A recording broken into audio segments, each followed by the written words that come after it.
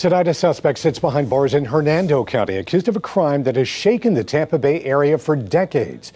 12 year old Jennifer Odom was kidnapped and killed in 1993. And tonight, investigators say DNA has linked her murder to a man already serving two life sentences for another vicious attack.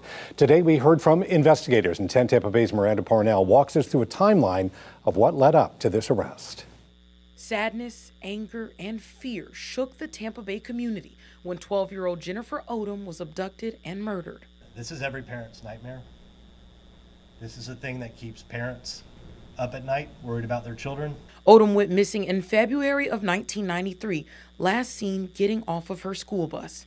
Days later, her body was found in an orange grove in Hernando County.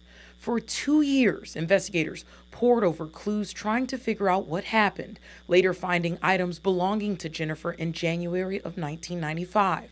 Years pass, and then in 2015, DNA evidence links now 61 year old Jeffrey Crum to a violent, near fatal attack that happened to another child a year before Jennifer's disappearance.